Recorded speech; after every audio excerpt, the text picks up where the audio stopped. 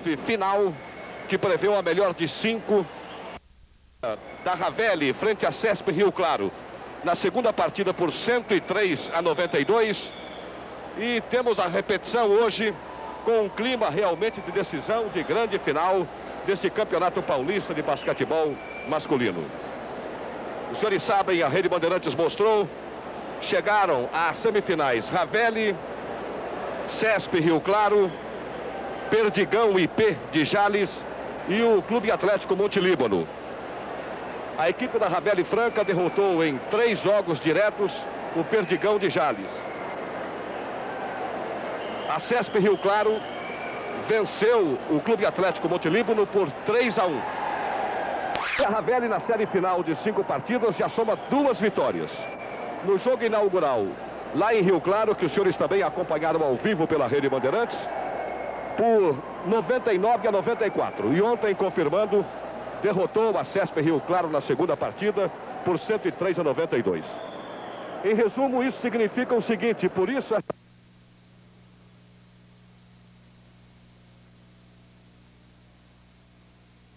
Da Ravelli no jogo de hoje. Vencendo esta partida, vencendo o terceiro jogo, terá a equipe da Ravelli reconquistado para a cidade de Franca a hegemonia do basquetebol masculino do estado de São Paulo.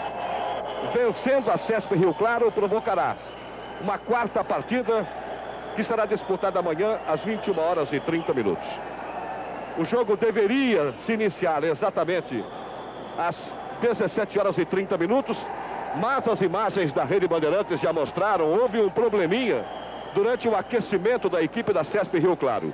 O americano Derek Hill ao tentar uma enterrada na cesta, nesta cesta aí, acabou não só enterrando a bola, como enterrando o aro, a tabela e tudo mais. E com a quebra da tabela, o início do jogo será retardado, evidentemente, para que seja colocada uma tabela reserva, para que a quadra tenha condição de jogo dentro de mais alguns momentos. Daqui a pouquinho, ou até agora, já Enquanto esperamos então a troca, obrigado Edival, que é o nosso coordenador, enquanto esperamos a troca da tabela, o amigo do Show do Esporte fica com o Box Internacional, sempre uma grande atração para os amigos da Rede Bandeirantes em todo o Brasil. Já já...